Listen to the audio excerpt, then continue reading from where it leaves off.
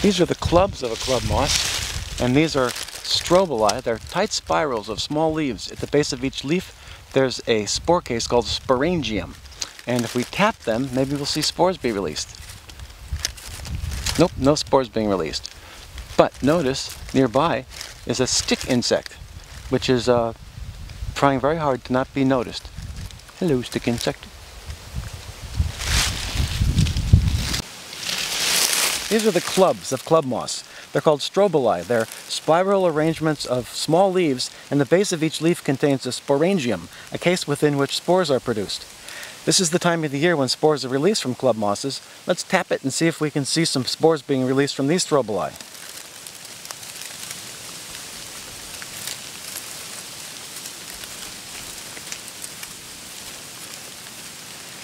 Club moss spores, incidentally, had a commercial use at one time.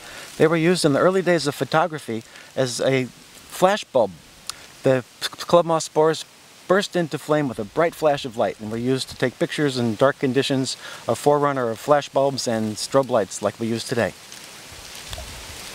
The defense moves that the court be adjourned. But I, I have a few remarks. And we are all anxious to hear them, sir. But Colonel Drummond's point of procedure is well taken. I'm sure everyone here will wish to remain after the court is adjourned to hear your address. I hereby declare this court is adjourned. Die.